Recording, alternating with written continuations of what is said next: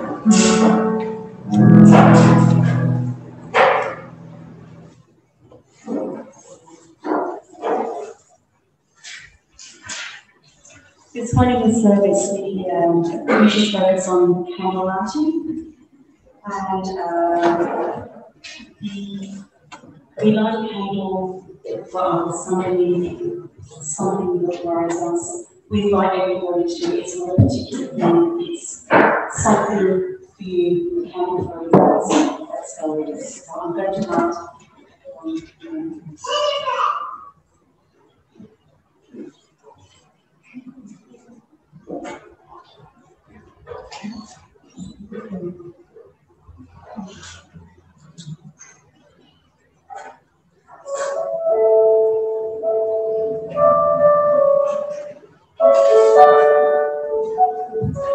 light is candle for our country and our people, that we may right the wrongs and be a just and decent, a good example for our children.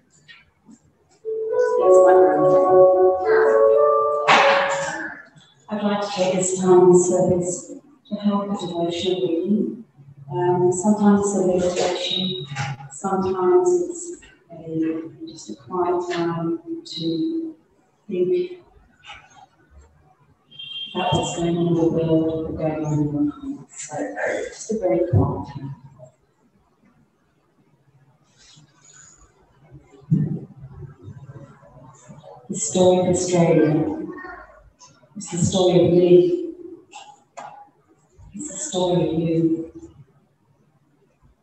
It's a story of we.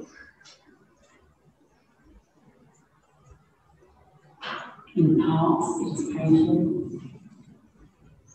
In parts, it is raw. In others, it's beautiful, inspiring, great awe. She tells of many people from far and wide, and those who've been here since the beginning of time. Brings us together, tears us apart.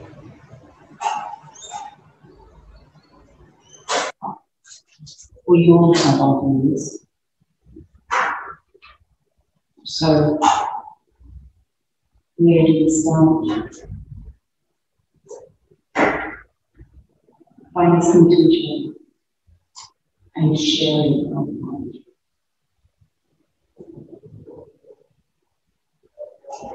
We're all part of one story.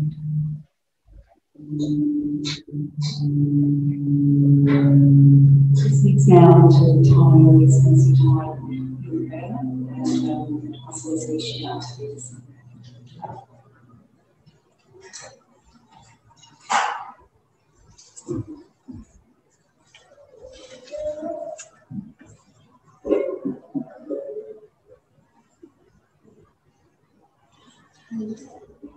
prayers of people, these words have been inspired by the readings of the from those words.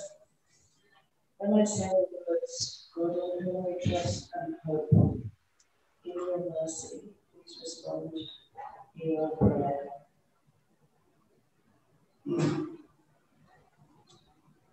You, O God, do place our trust. Give us all bring our prayers for the world and for the church. Let us pray. We pray for peoples of the world, for all who experience the horrors of war, famine, or disease, for all who suffer the loss of freedom and dignity, for our sisters and brothers around the world suffering from COVID 19, themselves and their loved ones. For world leaders in these fragile times, help us all to answer your call, to leave behind our ways of aggression and greed, that we may proclaim the gospel to a broken world.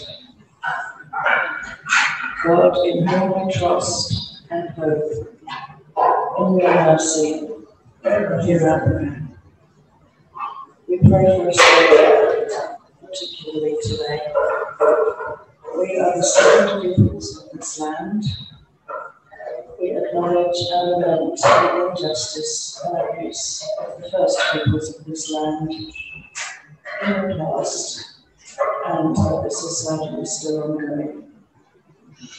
We acknowledge and lament the way in which the Christian Church is also often totally complicit in the process of taking land, language, culture, law, and spirituality from our first peoples, but also actively involved in it. God of mercy, forgive us all our failings, past and present. Give us the grace to make a fresh start today. Help us answer your call to leave behind our ways of prejudice and intolerance, that we may the gospel to our broken world. God, in whom we trust and hope, in your mercy, prayer. We pray for the church, its clergy and people, our minister, the one, and our community here in Coburg Uniting Church, and all who minister in this place. Help us to ask your call to leave behind our arrogance and division, that we may proclaim your gospel to our broken world. God, in whom we trust and hope, in your mercy. We pray for communities in which we live, our families and friends, and all who give us love and companionship. All whose work sustains this community. We give thanks for the release of refugees and asylum seekers in Melbourne this week. I hope and can pray this can continue with ongoing support for them. Help us to answer your call leave behind our ways of alienation and apathy, that we may proclaim the gospel to a broken world. God, in whom we trust and hope, in your mercy.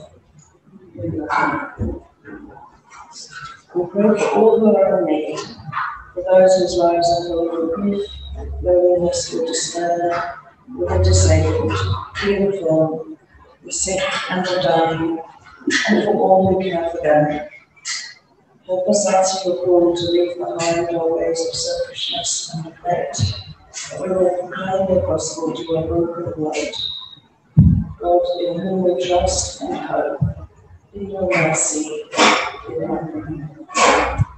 We give you thanks for your faithful servants of every age, Andrew, Peter, James, and John, and for those in every generation who have followed you. Help us, like them, to answer your call to leave behind all that separates us from you.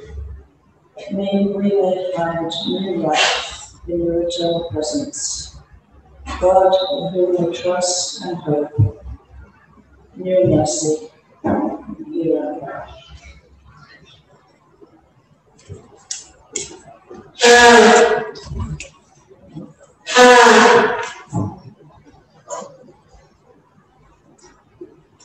We're going to say again, it's hymn number 585. It's called I Heard the Voice of Jesus saying, Today you will be to Jesus because there's no PowerPoint. So if anyone hasn't got one, you can know. And guide in the middle, that's what's on there. Thank you, Josh.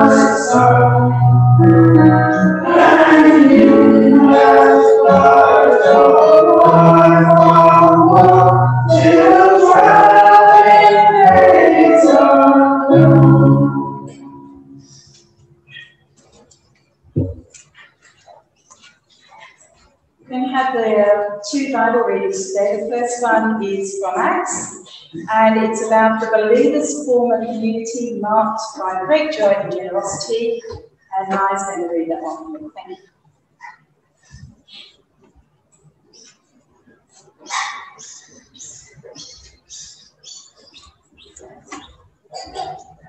You know, reading from Blake's Act 2, verses 42 to 47. Next, then there were three times he took in his word, were baptized and were silent. They to give silence to the teaching of the apostles, and the life together, humble together, and rest. Everyone was allowed, all those wonders and signs established in the apostles. I don't want to believe it's living the right of family, holding everything in the family. And so when they will go and put their resources so that each person's need was met. They follow a daily discipline to personal temple, followed by meals of love. Every meal and celebration, it together with joyful and great God. People enjoy life what they saw every day they have to prove as God had those who were saved. This is the word of the Lord. Second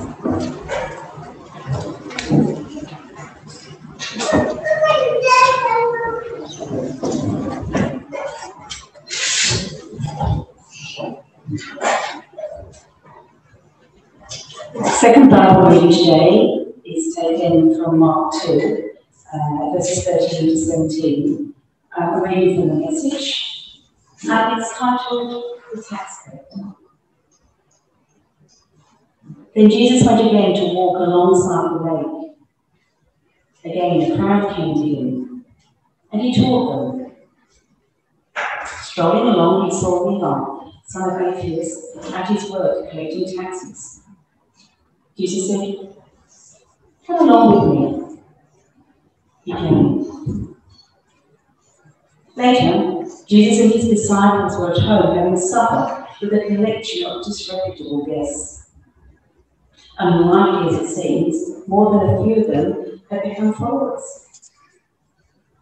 The religion scholars and Pharisees saw him keeping this kind of company and relating to his disciples kind of example is acting cozy with the misfits. Jesus overheard. Who needs a doctor? The healthy or the sick? I'm here inviting the sick, not the spiritual fit.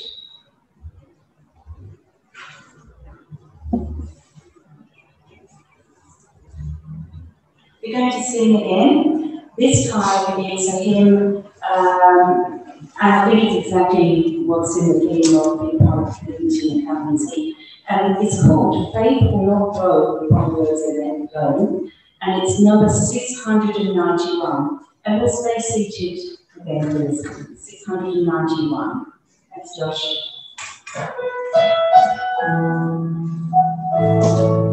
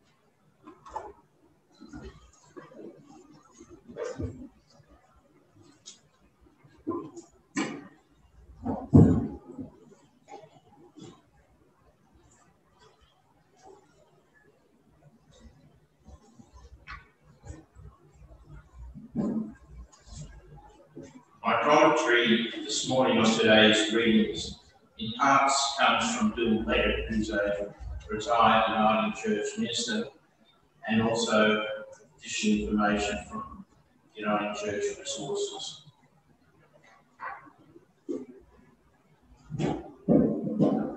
First, the commentary on the Acts reading.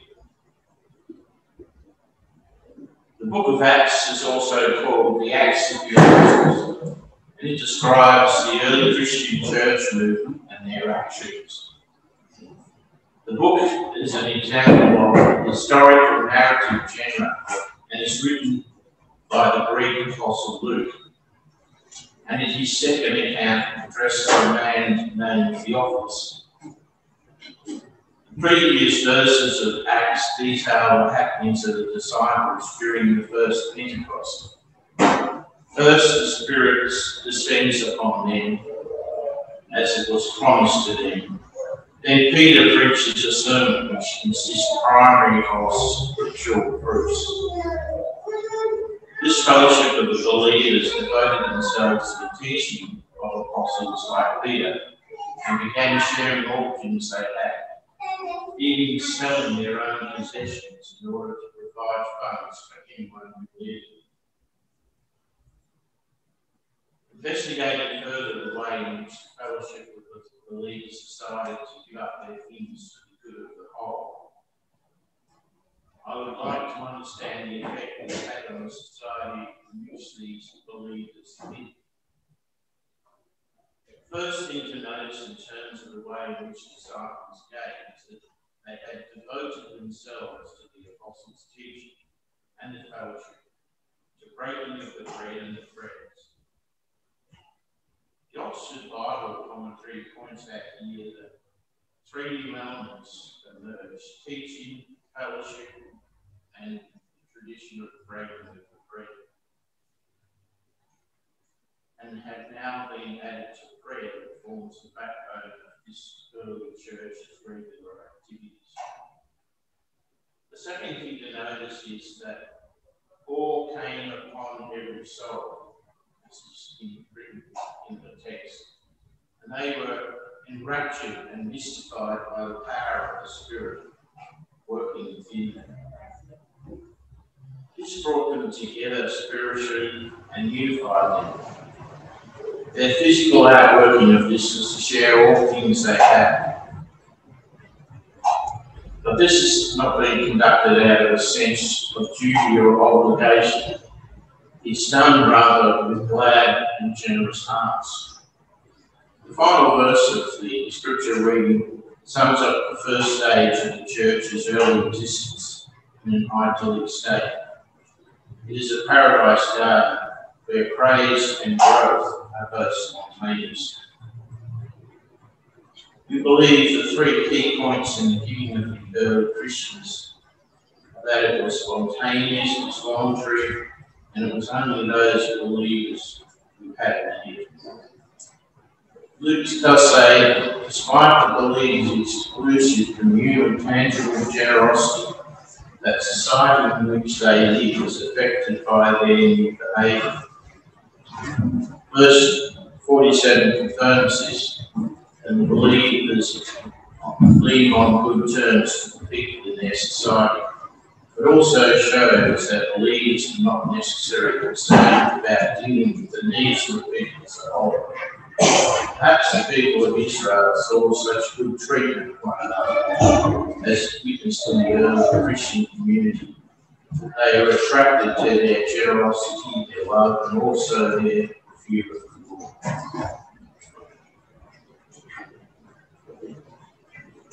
Moving on to a commentary on the Mark reading.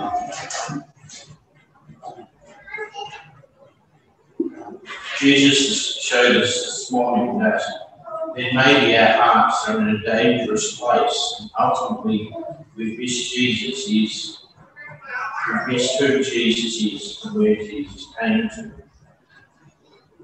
Maybe have no problem with it being the sin nature that often comes to surface. But maybe we think that we're we're aren't that we aren't that bad. That this person over here is worse than us. Maybe We are quick to point out all the ways that everyone else needs to change, but we're not problem. In the Mark text, it says that Jesus went out again beside the sea, and all the crowd was coming to him, he was teaching. They are all enthusiastic about Jesus and like to be around Jesus. But they're not turning to Jesus in repentance and belief. They're all curious, but they are not converted. If Jesus continues to preach the gospel of God continually to the people. As Jesus is preaching, verse 14, he says that he saw Levi, the son of Alphaeus, sitting on the tax booth, and he said to him, Follow me. And Levi rose and followed him. Not just to give us some cultural context, tax collectors were some of the most hated and despised people in Jesus' day. Tax collectors were Jews who collected taxes, taxes from other Jews in order to give to the Roman government to pay for their wars and their expensive infrastructure. Jews wanted out from under the Roman oppression. They didn't want to be financially supporting it, so tax collectors were often viewed as traitors in the eyes of the people. Because if you worked for the Romans, you were working Now that sounds pretty bad, but here's how they would collect taxes. The Roman government would require a certain amount of money to be collected from the people.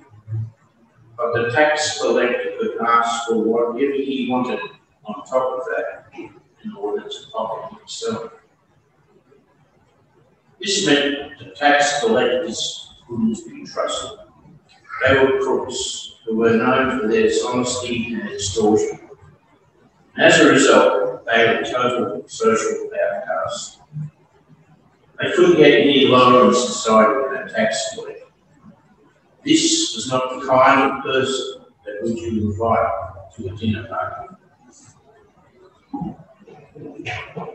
What is astounding and astonishing is that Jesus called this man to follow him. Out of everyone in that crowd that Jesus could have called, he sees Levi, the tax collector, and calls him. This is the scandal of grace, and you see it happen all throughout the Gospels. Jesus calling people to follow, regardless of their reputation or their status in society. Jesus doesn't call people based on performance. He calls them based on his goodness and mercy. We look at the response of Levi. It says in the passage that he rose and followed Jesus. Notice how risky this would have been for Levi. This is now the second time that Jesus individually called people to follow him. The first instance being the four fishermen. What makes this call to follow Jesus more risky for Levi than for four fishermen of the Gospels is that, unlike the fishermen, Levi has nothing to go back to if he follows Jesus. The fishermen can go back to their nets, but Levi can't go back to collecting taxes. There is, therefore, a cost for Levi to follow Jesus. But just as quickly as Jesus calls him, Levi responds by following him. And further, Levi has gathered together all his tax collecting friends and other people who were looked down upon society, and they're eating with Jesus and his disciples. Now, how amazing is it that Jesus can be the common denominator in that group of people? Have the fishermen who have been following Jesus for a little while, and many others who followed Jesus, all in the same room as tax collector, so called sinner. There would have been no reason for this group of people to be in the same room together, other than we're all there because of Jesus. He is what binds them together. It's the scandal of grace. We can be a Christian 60 years, or we can be a Christian for 60 minutes, and we can be on the same level because of Jesus. It's a beautiful picture of what Jesus came to accomplish. Later in the scripture, we read verse 16.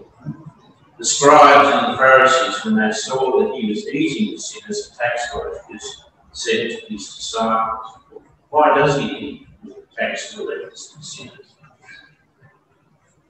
Now, do you notice that the religious, religious leaders don't ask their questions to Jesus, but to his disciples? Tax collectors and sinners invite Jesus to dinner, but the scribes who are on the outside of the in have judgment and can't even ask Jesus himself about why he does it. Now, maybe the religious leaders are upset with Jesus because he's eating with a lonely group of tax collectors and sinners instead of eating with them. Maybe they're jealous, but I think we see more sinister than that. You see, the scribes aren't upset with Jesus because they want Jesus, but because they don't want this other group to have any contact with Jesus.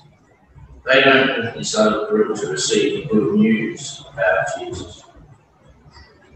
See, the religious leaders have become very good at separating themselves from sinners. They could have imagined that Jesus, the Son of God, the one who proclaimed to be the Messiah, could be comfortable with sinners.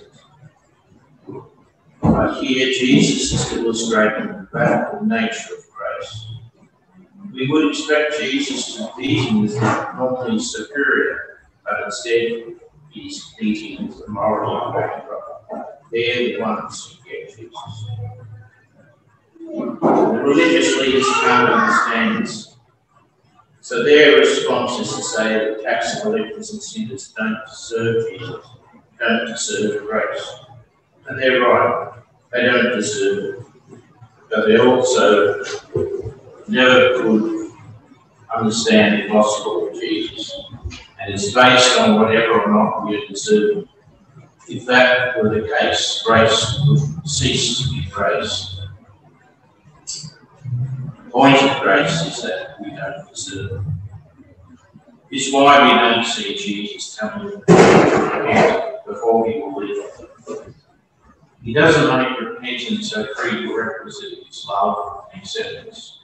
Father Jesus loves and accepts tax collectors and sinners as they are. And if they forsake their evil and amend their lives, they do so not in order to gain Jesus' favour, but because Jesus has shown them his undeserved favour.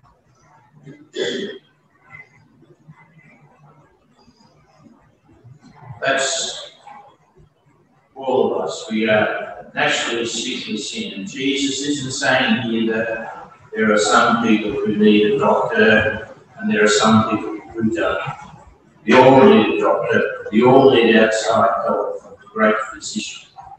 Jesus' point here is that only ones who come to the great physician are the ones who realize that they need outside help.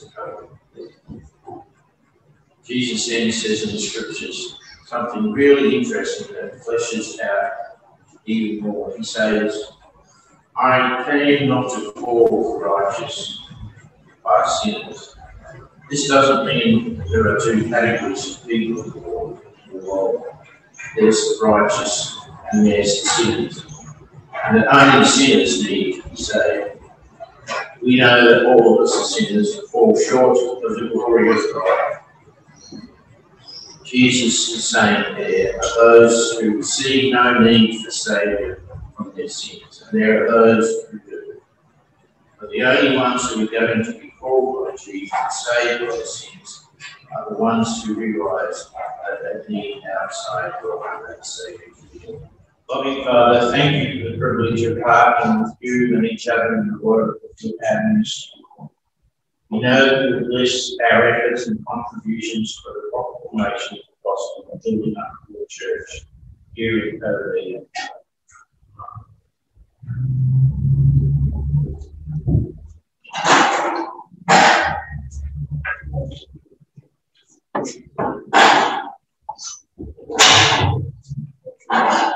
Please.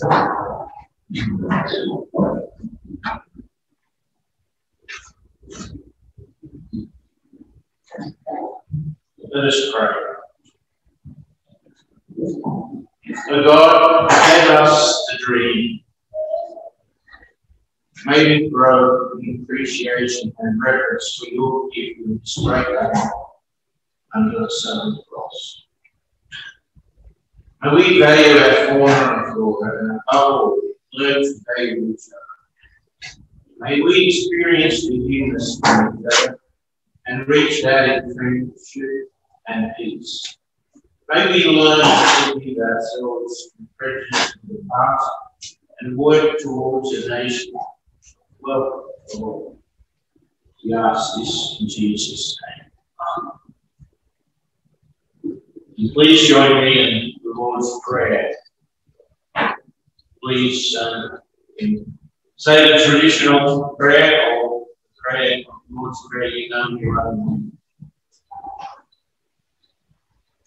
Father in hallowed be your kingdom come, your will be done on earth as heaven. Give us today. Forgive us our sins, as we forgive those who sin against us. Save us from the time of trial, and deliver us from evil. For the kingdom, power, and the glory are yours,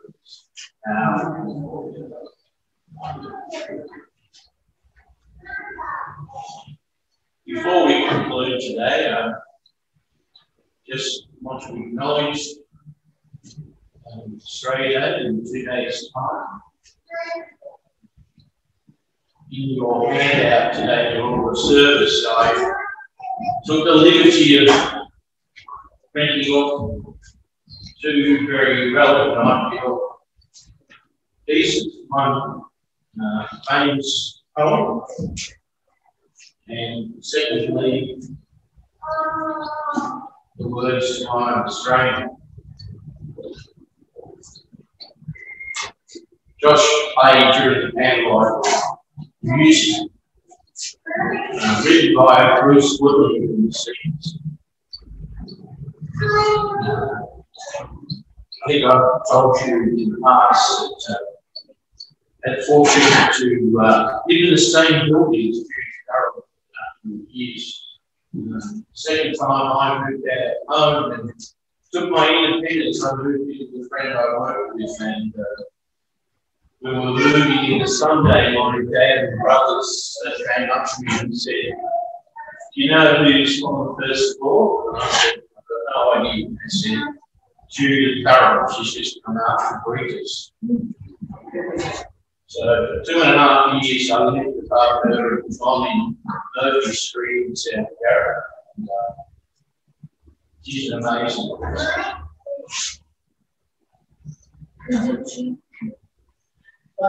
No, Bruce, Bruce will be another friend it, but um, she has rewritten another, another version which has more meaning for our First Nation. Um,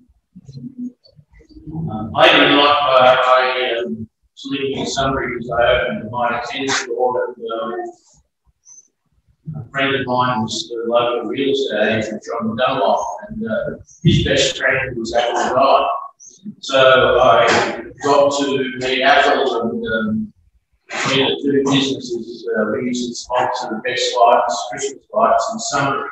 And we used to have Athol judge those best lights for Christmas, and uh, he got to know him too. He was a great person. But,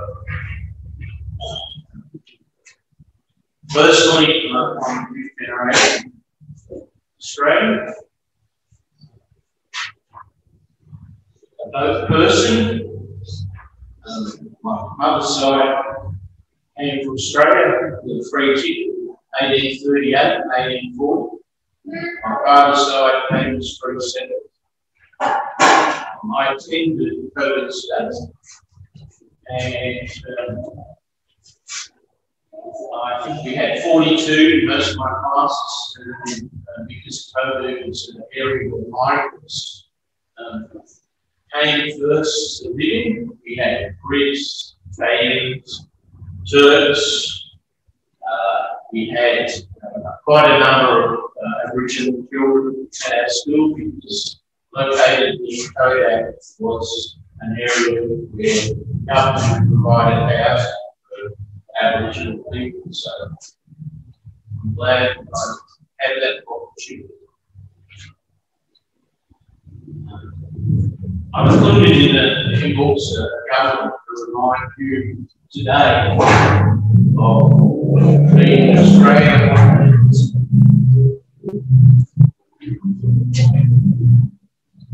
I'll just walk away from some of you a little bit, so I might get struck down quite often.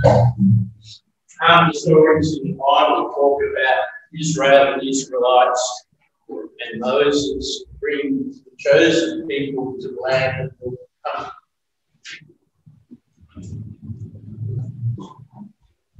But maybe I certainly feel that we have great responsibilities. I think we ourselves today, the land that we're coming. And there are times that maybe we need as a nation to bind together and not be seen within. So I, I think we need today, going forward, to work for unity not just our personal people, but with migrant people who come here to start a second life. We have a very diverse congregation. Um, see Simone, Sierra Leone, uh, the members of the congregation also lead migrants David over there, his family came from Norway. John's family came from northern Prussia, I think it is, not Germany. Others from England. But adversity is strong and I think we have the best bedrock become a nation among nations. So I've said it.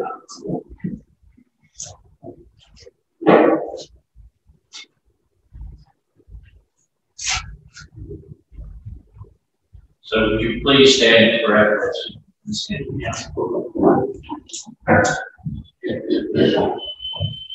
May always stand tall a tree. Be strong as a rock as gentle and still as the morning mist. Hold the warmth of the campfire in your heart. May the creative Spirit always walk with you. Amen. Our final hymn is 755, Trees of